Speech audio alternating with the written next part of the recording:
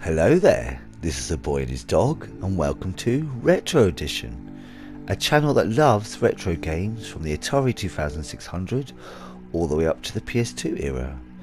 Can we include the PS3 yet?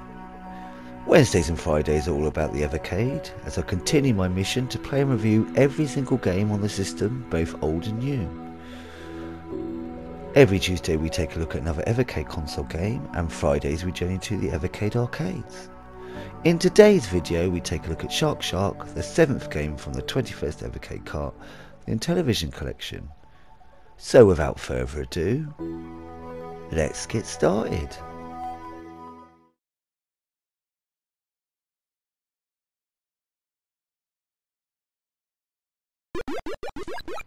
Shark Shark is a great game and reminds me of one of Qui-Gon's important life lessons. There's always a bigger fish.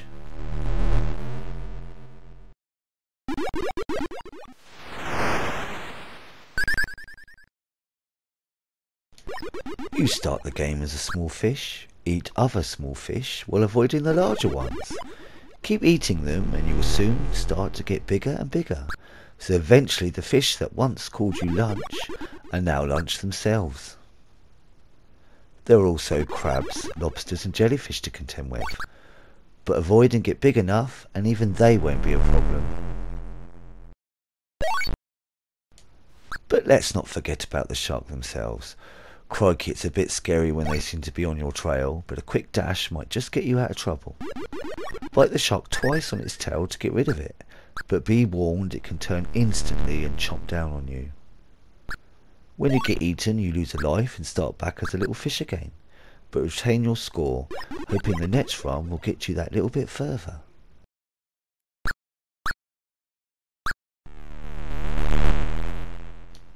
The game controls are simple enough and it feels good on both the Evercade pad and handheld.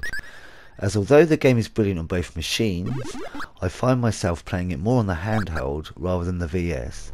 Some games just fit perfectly on that little device, don't they?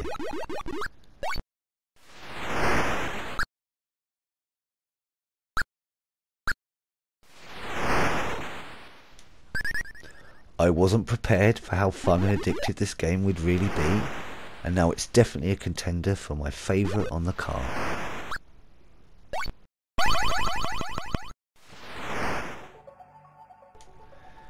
If you've made it here to the end of the video, thank you very much for joining me. Please leave a thumbs up or a comment if you would like, but either way I'm just chuffed you poked your head in the door to take a gander. And until next time, be seeing you.